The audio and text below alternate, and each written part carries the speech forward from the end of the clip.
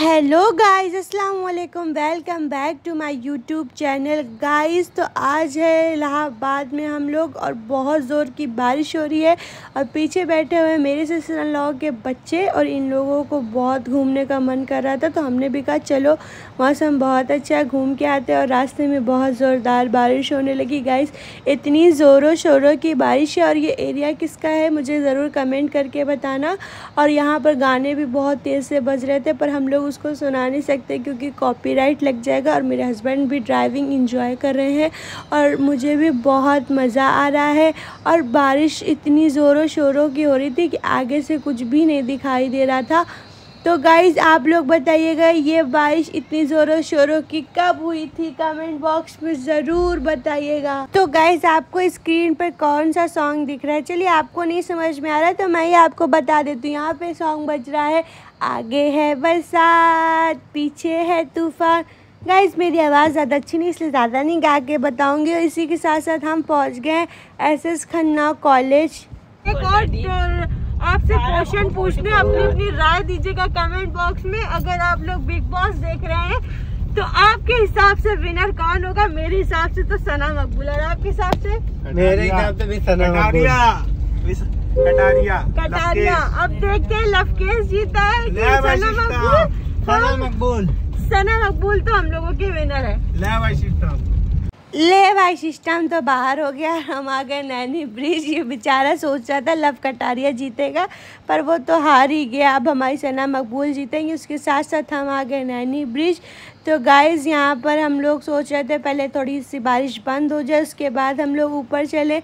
क्योंकि कोई भी बारिश में भीगना नहीं चाहिए, क्योंकि सबके एग्ज़ाम चल रहे हैं, सबका कॉलेज है, सबका स्कूल है।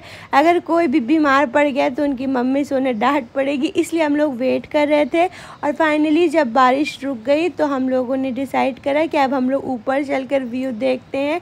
तो गाइस हम लोग ने गाड़ी पार्क करी और पहुँच गए ऊपर।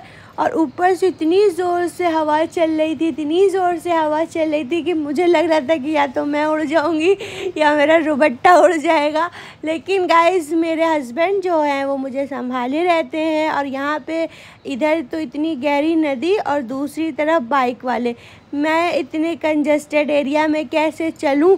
और गाइस अभी आप देखिएगा, एक लड़का इतना बदतमीज़ है कि वो नीचे से नहीं जा रहा है, वो ऊपर से बाइक लेकर आ रहा मेरा मन कर रहा था कि मैं तो उसको मार दूँ, पर मैंने कंट्रोल करा अपने ऊपर। तो आप कमेंट में बताइए, गलत है ना? आपको ऊपर से नहीं आना चाहिए। ऐसे लोगों को वहीं पर रोक कर जो है समझाना चाहिए। उसके बाद हमारे हस्बैंड यहाँ पर नदी में क्या डाल दिया? अच्छा धागा डाल दिया। तो गाइज़ यहाँ से आप देख सकते हैं कितना अच्छा व्यू आ रहा है और हम लोग वीडियो शूट करवा रहे हैं। जो वीडियो आपने देखा होगा, ये कपड़ा मुझे वुमेन फ़ैशन की तरफ़ से आया था, जो मैंने वियर किया। फिर मेरे हस्बैंड यहाँ पर बोर हो गए तो वो ऊपर बोर क्या हो गए इन्होंने हम, इनको हम लोगों ने अपनी वीडियो में नहीं लिया, इसलिए अकेले ही वीडियो बनाने लगे। तो गाइज़ यहाँ पर सब लोग अपना अपना शूट कर रहे थे और इतनी ज़ोर से जो हवा चल रही थी वो अचानक से बंद हो गई। तो अब इतनी ऊंचाई पे भी थे तो मेरा ना ऑक्सीजन लेवल डाउन हो गया था। मेरी तबीयत ख़राब होने लगी तो मैंने बोला अब चलो जल्दी से वापस चलते हैं। फिर मैं गाड़ी में आके बैठी पानी वानी पिया तब जाके मुझे थोड़ा रिलैक्स हुआ। घूमना फिरना हो गया है अब चल के एक प्रमोशन भी कर लेते हैं उसके साथ कुछ खा भी लेते हैं। तो हम लोग जा रहे हैं इलाहाबाद की सबसे फ़ेमस क्या है बोलो? कट जाएगा। आप वहाँ पे जाने के बाद आपको पता चलेगा। हाँ वहाँ पे आपको जाने के बाद पता चलेगा कि हम लोग कहाँ जा रहे हैं तो वो इतनी फ़ेमस है कि हम लोग को नाम भी नहीं आर यू रेडी गाइस तो गाइस आज भी प्रयागराज का ट्रैफ़िक ख़त्म नहीं हुआ। इधर से रिक्शे वाले घुस जाते, उधर से टेंपो वाले और उधर से बाइक वाले। पर इन लोग इन्होंने तो मेरा मुँह ही बंद कर दिया, इसे मैं किडनैप करके मुझे लेके जा रहे। बताओ गाइस कोई देख लेता तो यही सोचता ना। उसके बाद हम पहुँच गए वकाओ मोमोज़। यहाँ पर पहले मोमोज़ की शॉप हुआ करती थी बट ये अब डबल हो गया है। यहाँ पर आपको स्टार्टर के साथ साथ केक्स भी अवेलेबल है। हर तरीके के केक्स आपको पार्टी में पार्टी के लिए केक चाहिए एनिवर्सरी के लिए केक चाहिए, छोटे से लेकर बड़े केक कप केक सब चीज़ यहाँ पर अवेलेबल है और आपको ना बासी केक नहीं मिलेगा जो एक दिन का बना हुआ रखा रहता है।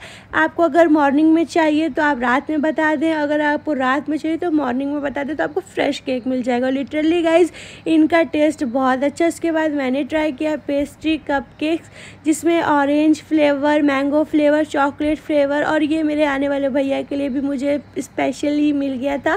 तो मैंने वो भी खा लिया और ये चीज़ कॉर्न मोमोज मुझे मोमोज पसंद ही नहीं है तो गाइज़ मुझे, मैंने थोड़ा सा खाया तो मुझे ये अच्छा लगा। फिर उसके बाद अफ़गानी चिकन मोमोज़ आ गए, ये भी बहुत टेस्टी था, मैंने टेस्ट किया। बट गाइज़ मेरी तबीयत थोड़ी ठीक नहीं, इसलिए मैं कुछ ज़्यादा खा नहीं पाती हूँ। पर कोई बात नहीं, मेरे साथ ये जो बच्चे हैं ना, इन्होंने बहुत इंजॉय करा और इन लोगों को तो मोमोज़ बहुत पसंद है। आज की जनरेशन के लिए मोमोज़ पता नहीं क्या हो गया मुझे तो बिल्कुल नहीं पसंद आते ये मोमोज़, पर हाँ इकरा लतीफ़ के हुए बहुत अच्छे हाँ। डेकोरेशन देखने में खाने में। ये है हम लोग आए बताओ मोमोज में छोटा मार्केट में हिंदुस्तान मार्बल के नीचे। और बाकी पते के लिए आप डिस्क्रिप्शन देख लीजिए। वो कह रहा है मोनी मैं इतना नहीं बोलूँगा, मुझे खाने में फ़ोकस करने दो, क्योंकि उसको अफ़गानी चिकन मोमोज़ बहुत पसंद आया और उसने बोला है कि अब वो जब भी आएगा ना तो यहीं से मोमोज़ खाएगा। तो गाइज़ आपको भी मेरा सजेशन है कि आप जब भी मोमोज़ खाने निकलो तो आप अफ़गानी चिकन मोमोज़ ज़रूर खाने और इकरा लतीफ़ के यहाँ, जो कि वकाओ मोमोज़ के रेस्टोरेंट चलाती हैं। तो गाइस ये वुमेन है और हाउस वाइफ भी हैं, उसके साथ साथ उन्होंने अपना बिज़नेस स्टार्ट करा है। और यहाँ पर मेरा पेट भर गया था, पर इकरा लतीफ़ मुझे लास्ट में शेक देती, बोलती, ये पी लीजिए। आपने ढंग से कुछ खाया नहीं तो मैंने ये शेक पिया तो मुझे ये शेक बहुत अच्छा लगा। तो गाइज़ मैं चाहती हूँ कि आप लोग एक वुमेन के बिज़नेस को अप्रिशिएट करें, उन्हें को मैं कॉन्ग्रेचुलेशंस बोलती हूँ और अल्लाह से दुआ करती हूँ कि इन्हें कामयाबी मिले। Thanks for watching do like share comment